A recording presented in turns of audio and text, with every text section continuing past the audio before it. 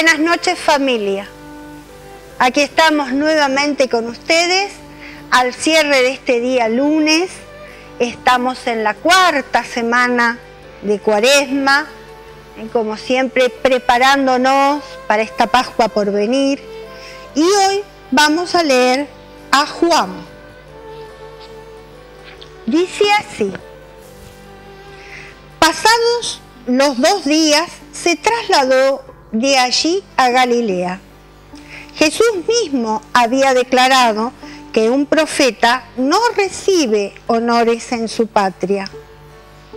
Cuando llegó a Galilea, los galileos lo recibieron bien, porque habían visto todo lo que hizo en Jerusalén durante las fiestas, ya que también ellos habían estado allá. Fue de nuevo a Caná de Galilea, donde había convertido el agua en vino. Había allí un funcionario real, cuyo hijo estaba enfermo en Cafarnaúm. Al oír que Jesús había llegado de Judea a Galilea, fue a visitarlo y le suplicaba que bajase a sanar a su hijo moribundo. Jesús le dice, si no ven signos y prodigios, ustedes no creen. Le dice al funcionario real, Señor, baja antes de que muera mi muchacho. Jesús le dice, regresa tranquilo que tu hijo sigue vivo. El hombre creyó lo que le decía Jesús y se puso en camino. Iba ya bajando cuando sus sirvientes le salieron al encuentro para anunciarle que su muchacho estaba sano. Les preguntó a qué hora se había puesto bien y le dijeron que el día anterior a la una se había pasado la fiebre. Comprobó el padre que era la hora en que Jesús le había dicho a él que a su hijo y a toda su familia. Esta fue la segunda señal que hizo Jesús cuando se trasladó de Judea a Galilea. Bueno, en este relato de Juan tenemos el modelo de nuestra fe. Eh, por un lado, el relato este de la muerte o la gravedad de la vida y el riesgo de vida de este joven ¿eh? y de este papá que va a pedir la muerte por un lado y la vida con Jesús. La oscuridad de la nada y la luz con Jesús. Y esta es la fe. Sin fe pareciera que morimos a tantas cosas. Sin fe, cuánta oscuridad. Esa oscuridad del no saber, del dolor.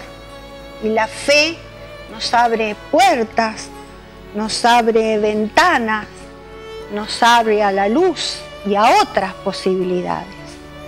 Este es el camino constante.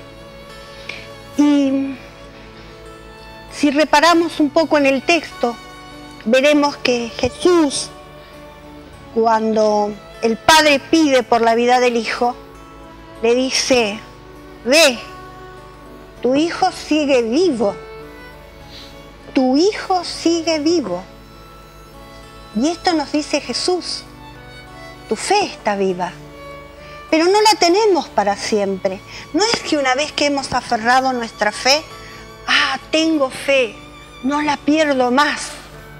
No, debemos luchar por ella, debemos pedir por ella, debemos estar siempre atentos a esta necesidad.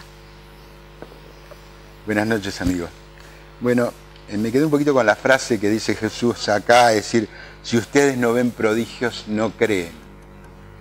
Y muchas veces nosotros también nos decimos, bueno, hay que creer sin, ver, es decir, tener fe, tener confianza. Eh, muchas veces esto, ¿cuántas veces tenemos que creer cosas que no vemos y bueno, la creemos por qué?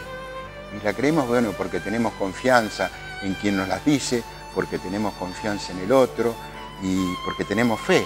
Y en este, en este caso, en este pasaje, Jesús lo que nos pide es eso, es decir, que tengamos fe y que no seamos incrédulos.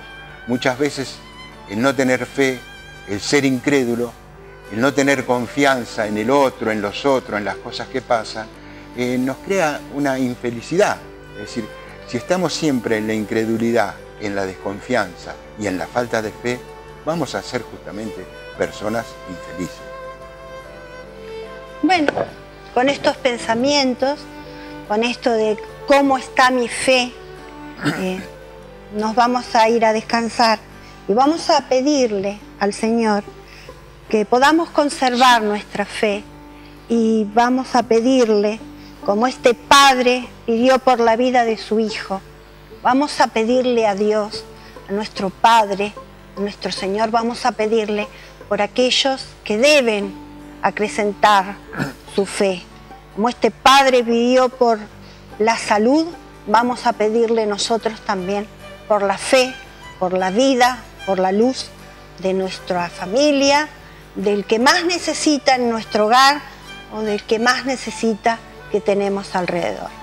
Con estos pedidos, con esta oración, nosotros nos despedimos. Hasta mañana, Dios mediante, que tengan todos un buen descanso. Buenas noches, muchas gracias y gracias por estar ahí.